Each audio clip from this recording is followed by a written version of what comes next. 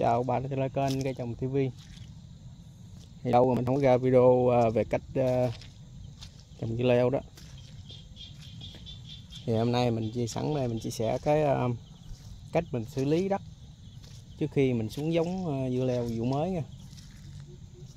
Thì đối với đất cũ á, thì khi mình trồng dưa leo đó qua nhiều vụ nó sẽ hao hụt cái chất hữu cơ trong đất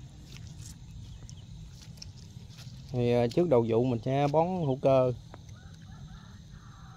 Càng nhiều thì cho nó trả cái lượng hữu cơ trong đất nó, cho đất nó ờ, tươi xốp, giàu dinh dưỡng.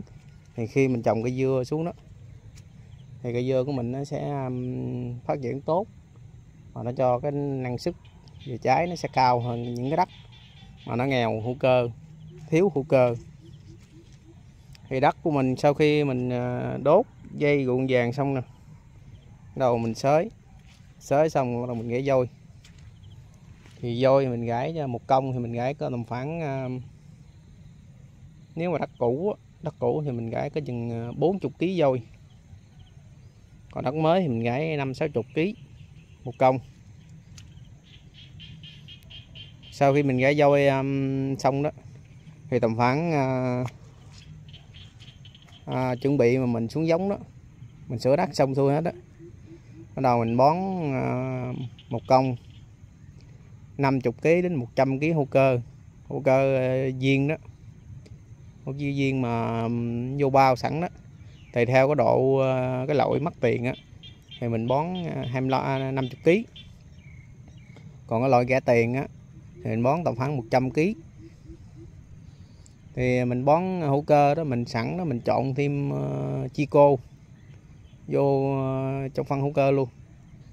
Tại vì chi cô nó chỉ trộn được với phân hữu cơ thôi. Chứ mình trộn với phân hóa học thì nó không im. Thì mình trộn với pha với um, chi cô với phân hữu cơ xong mình gãi xong. Bắt đầu um, mình gãi qua một quận rồi bắt đầu mình gãi thêm tầm khoảng um, đối với đất cũ nè là mình gãi tầm khoảng 20 kg phân NPK 20 hay 15 của đầu trâu hoặc là cỏ pháp. Còn nếu mà đất mới thì mình à, mình chỉ gãy lăng thôi. Gãy lăng vô. Gãy lăng tầm khoảng à, 30 đến 50 kg cho một công. Ai đất mới thì mình sợ phèn đó. Rồi bắt đầu mình ấp bằng phủ lại, bắt đầu qua hai ba ngày sau bắt đầu mình à, bỏ hột hoặc là trồng cây.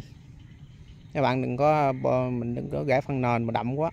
Đậm quá thì mình bỏ hột và trồng cây nó sẽ à, khi mà cái chỗ nằm nó nhiều đó sẽ, sẽ chết cây mình và hột nó không lên luôn. Mình gãi chủ yếu là hai chục đến à, năm hai đến ba chục kg thôi. Tùy theo cái đất của mình. Đó. thì mình xuống hột xuống hột xong đó thì hoặc là mình trồng cây xong đó thì bắt đầu mới ờ, chuẩn bị mấy cái bước kế tiếp nữa. Thì ờ, tới những cái bước kế tiếp những cái đó thì mình sẽ tiếp tục mình chia sẻ nữa. Thì trước tiên á để có một cái vụ mùa mà nó nó, nó có năng suất trúng mùa thì mình phải um, xử lý đất cho nó kỹ.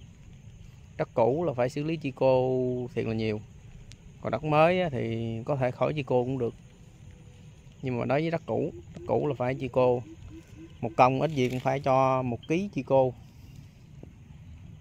Chi cô nó rất là quan trọng nha. Xử lý ờ, những cái mầm bệnh trong đất mình để nó không có bị héo xanh, chết dây đâu đó. Chứ để nó tới nó bị chết rồi mấy bạn cứu cũng không nổi đâu. Bởi vì mình, ưu tiên mình phải xử lý chi cô.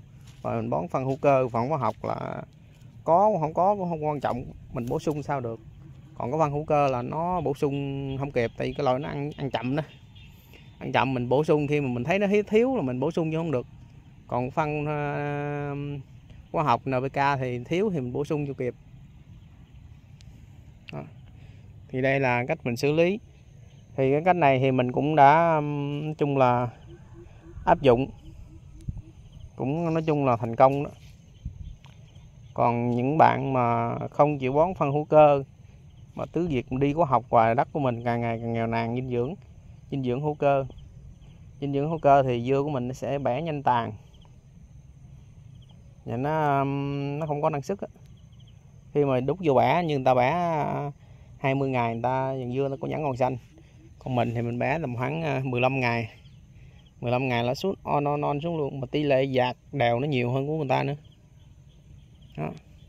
bởi vì mình để mình có được cái vụ mùa trúng trúng mùa. Năng suất cao thì mình phải áp dụng đúng cái kỹ thuật và cái quy trình của mình. Tùy theo cái đất của mình, đất mới, đất cũ, nó khác nhau, mình sử dụng khác nhau. Thôi à, chào tạm biệt các bạn nha. Các bạn nào thấy hay nhớ like, chia sẻ đăng ký kênh ủng hộ mình.